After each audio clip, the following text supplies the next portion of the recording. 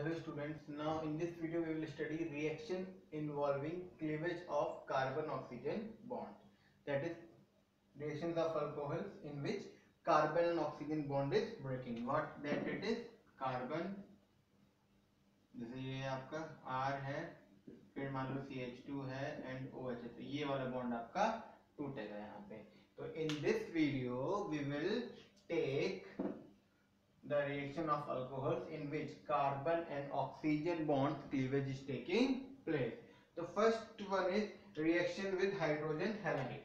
The first one is reaction with hydrogen halide. अब hydrogen halide जैसे कि HCl, HBr, H hydrogen fluoride इनके साथ आपका ये रिएक्ट करेगा तो alcohols alcohols react with hydrogen halide to give what alkyl halide देखो, अब यहाँ पे देखो कार्बन और ऑक्सीजन का बॉन्ड टूटेगा, समझ लो कार्बन और ऑक्सीजन का बॉन्ड टूटेगा मतलब ये बॉन्ड टूट रहा है तो ये OH और यहाँ पे HX तो R और X आपस में बॉन्ड बना लेंगे, क्या बन गया? एल्किल हैलाइड और OH और H मिलके क्या बना लेंगे? H2O OH और H मिलके क्या बना लेंगे? H2O तो दिस यहाँ पे ये आपका हो गया। अच्छा इसमें ना this alcohol can be primary secondary और टर्शरी ठीक है? अब एल्किल है मतलब अल्कोहल कौन सा अल्कोहल ज़्यादा रिएक्टिव है? With hydrogen halide which first degree second degree और third degree for this we take Lucas test कौन सा टेस्ट हम करते हैं? लूकस टेस्ट अब लूकस टेस्ट क्या है?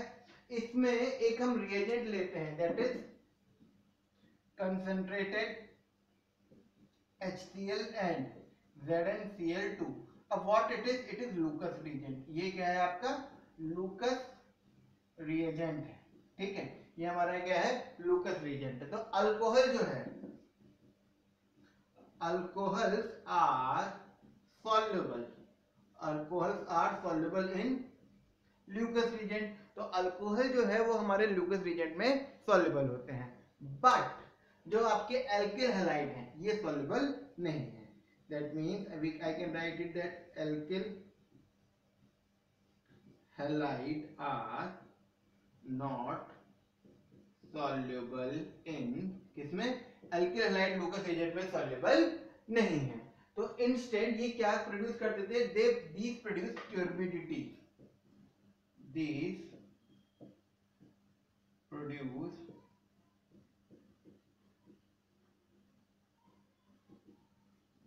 ठीक है, ये क्या प्रोड्यूस कर देते हैं? ट्यूर्बिडिटी अब क्वेश्चन इज़ ट्यूर्बिडिटी क्या होता है? जैसे कि कोई चीज़ सॉल्युबल नहीं है। अब जैसे कि सपोज़ ये जब अल्कोहल इसमें सॉल्युबल है अल्कोहल जैसे ही आप उसमें एच डालेंगे तो ये रिएक्ट कर जाएगा। और ये निकलेगा।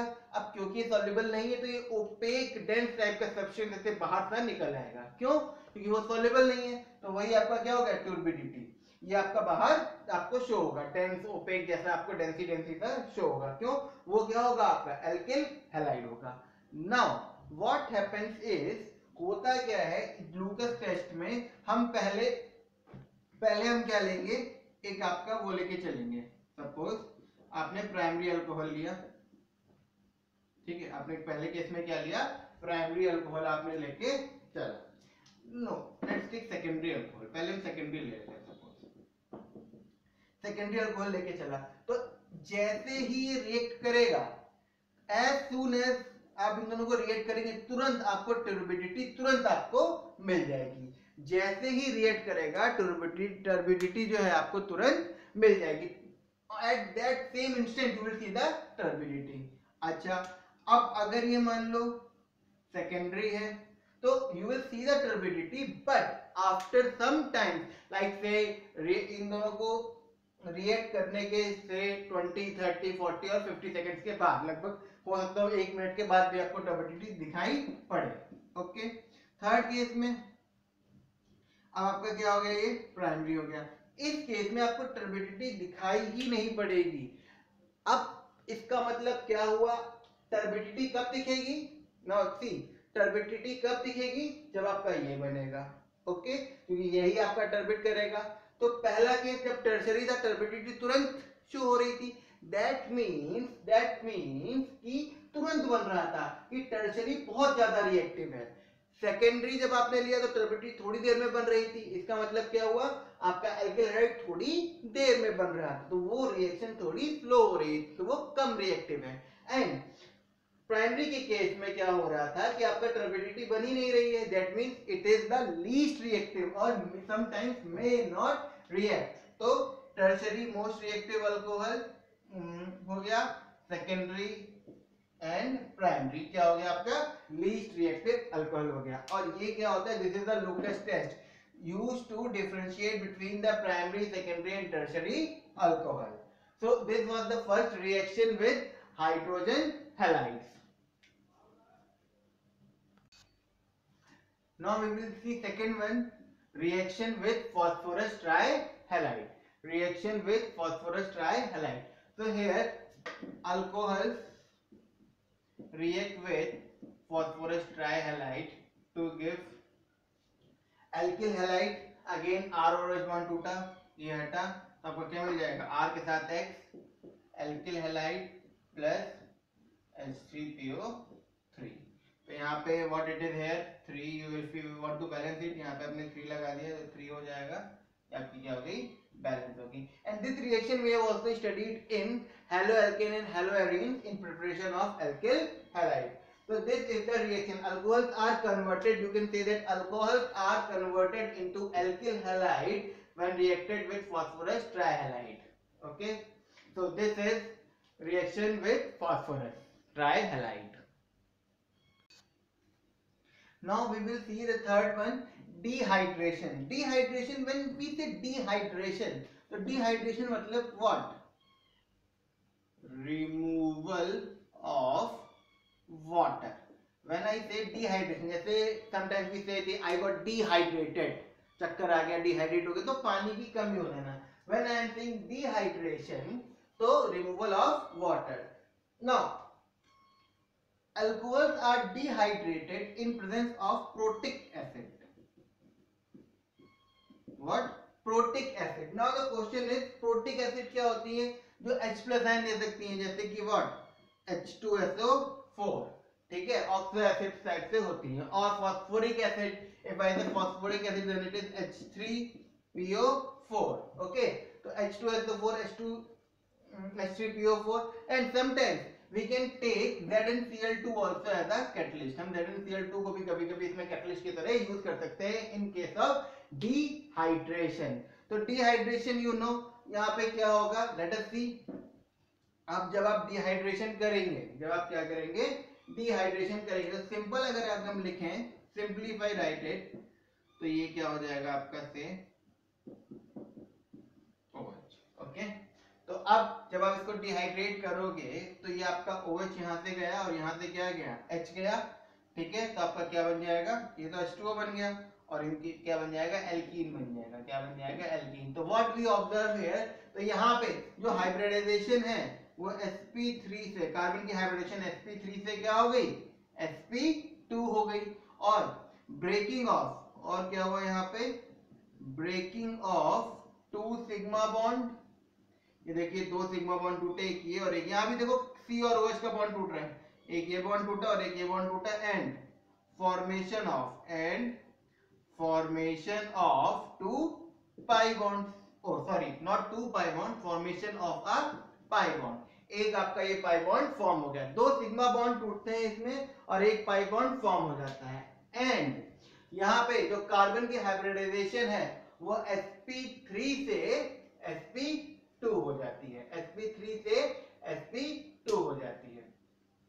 Now we will see how second अब यहाँ पे भी सेकेंडरी प्राइमरी और टर्शियरी अल्कोहल से क्या होता है और क्या नहीं होता है। Okay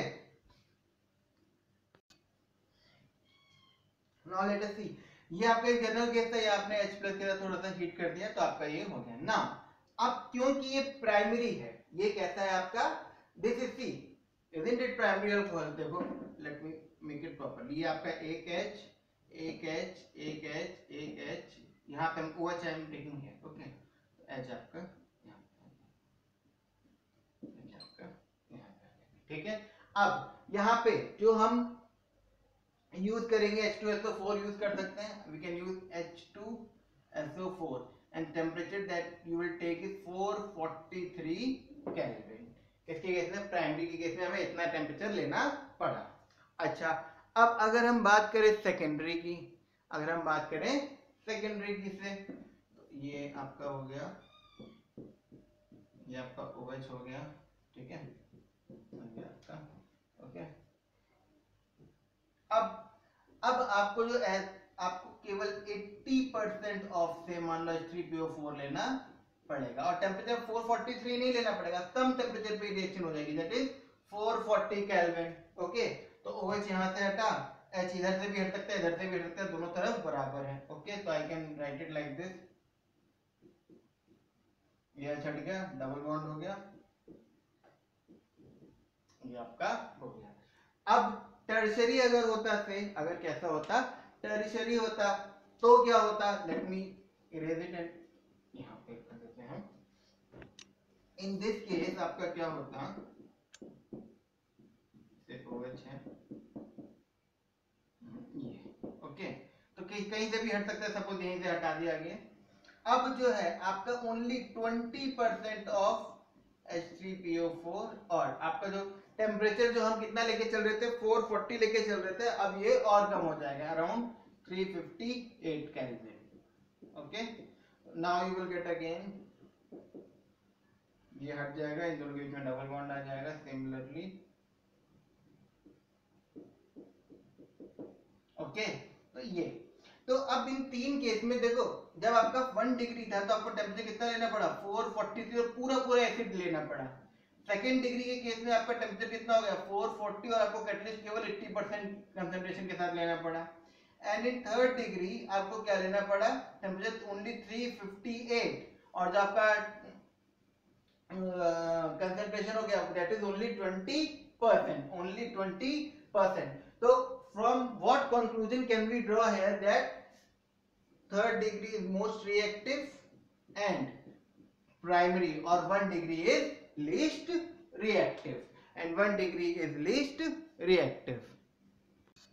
One degree is least reactive. That is we can also say that tertiary and secondary tertiary and secondary can be dehydrated under milder condition. Okay? Now this is just one thing now let us see another thing if alcohol is not symmetric now what i mean by symmetric and not symmetric is somewhat like this you will get to know see if i'm talking about this alcohol say OH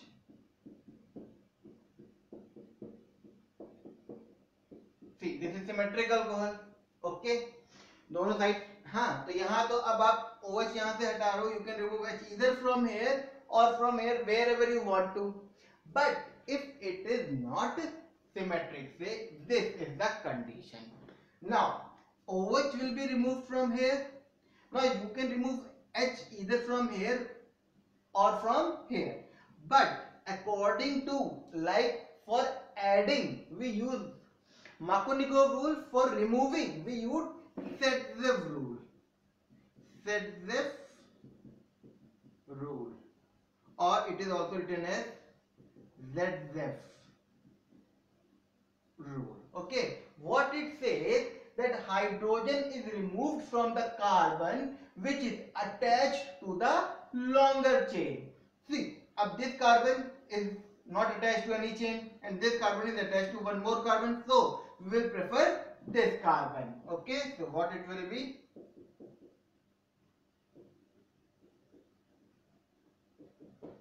So, this will our, this will be our product. अब suppose अगर कुछ ऐसा होता, ये तो एक condition हो गई, ना हम देंगे। अगर ऐसा हो जाता। अब ना इन दिस केस OH यहाँ से हटता तो H कहाँ से हटता? H यहाँ से हटता। और ये हटता क्योंकि अब ये वाला कार्बन ज़्यादा लंबी चेन से कनेक्टेड है तो ये हट के फिर डबल बॉन्ड इधर आ जाता। तो व्हाट सेट द रूल से that hydrogen is removed from the carbon attached to the longer chain or longer chain of alkyl group. So this is the Sedgwick rule and this is about dehydration. Now we will see the mechanism of dehydration how the dehydration takes place now here mechanism of dehydration of ethanol we will take ethanol तो पहला step क्या है? Formation of protonated alcohol तो how formation of protonated alcohol देखो पहले ethanol बना ले। ये आपका क्या हो गया? Ethanol okay let me make it bond like this okay OH ये इथेनॉल हो गया। प्लस H प्लस आयन जैसे ही आएगा। As I have already told you जैसे कहीं पॉजिटिव दिखा डेफिशिएंट ऑक्सीजन के पास लोन पेयर होता है डोनेट की टेंडेंसी रखता है तो इट विल डोनेट लीजिए आप। तो वेट, इट डोनेटेड तो आपका क्या बना?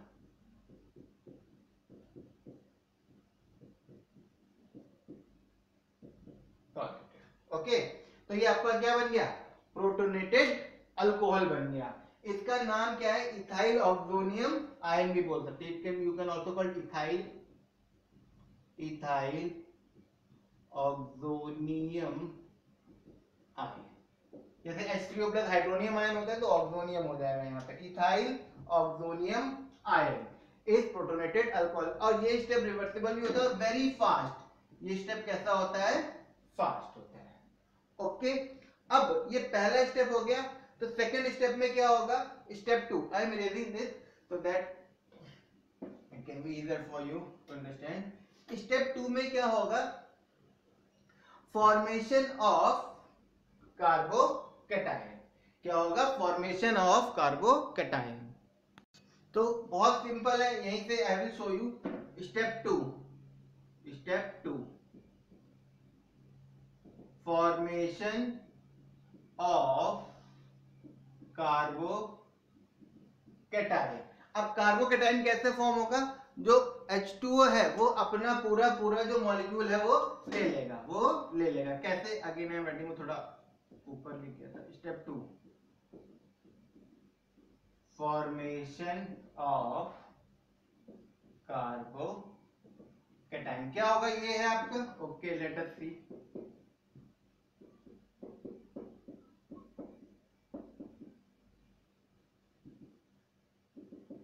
ओके तो फॉर्मेशन ये पूरा पूरा बॉन्ड इसके ऊपर शिफ्ट तो आपको क्या मिलेगा यहाँ पे? इतना पार्ट मिलेगा। इसका भी इलेक्ट्रॉन चला गया तो इसकी, देखो, ये पूरा जो पेयर है, ये ऑक्सीजन अपने ऊपर ले लेगा तो पॉजिटिव को न्यूट्रलाइज कर लेगा, ये इलेक्ट्रॉन इसके ऊपर आ जाएगा, और इसके ऊपर क्या बचेगा? पॉजिटिव चार्ज तो ये आपका क्या बन गया?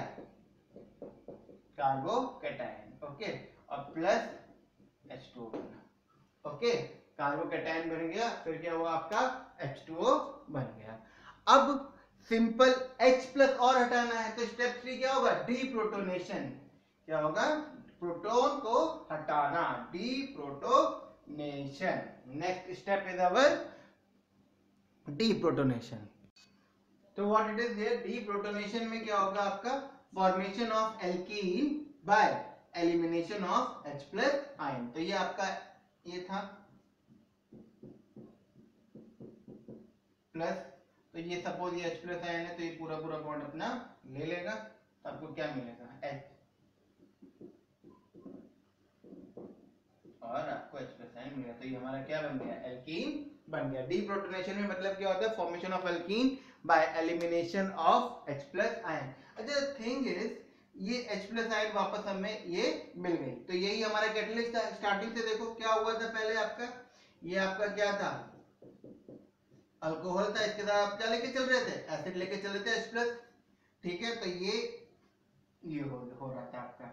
ये हो रहा था क्योंकि प्लस आ रहा था तो ये बन रहा था उसके बाद ये वाला स्टेप आ रहा था फिर ये स्टेप आ रहा था तो ये आपका एसिड तो जब हम बोलते हैं टर्शरी अल्कोहल है अगर तो ये अटैक बहुत जल्दी करता है। ये अटैक बहुत जल्दी करता है और रिएक्शन और फिजिबल हो जाती है। तो हमें ये कम H प्लस की ज़रूरत पड़ती है इन टर्शरी में। अच्छा वन मोर थिंग जो स्टेप टू होता है फॉर्मेशन ऑफ़ कार्बोकेटाइन ये स्लोएस्ट स्टेप होता है। क्या होता है आपका? Slowest step so this is the rate determining step this is the rate determining step in formation of alkene by dehydration of alcohol so this step is rate determining step okay now, we will see oxidation oxidation reaction okay